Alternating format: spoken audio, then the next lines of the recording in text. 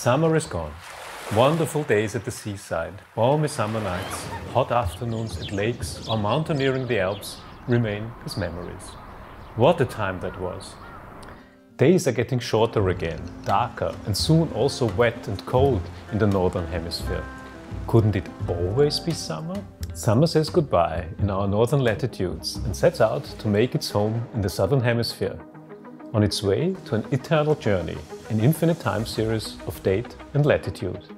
Couldn't one travel after summer to live the endless summer? To set out along a longitude, always south, far beyond the equator, and then once east-west around the globe to the sunny beaches of South Africa, Australia, Chile, Paraguay or Brazil? What a dream that would be!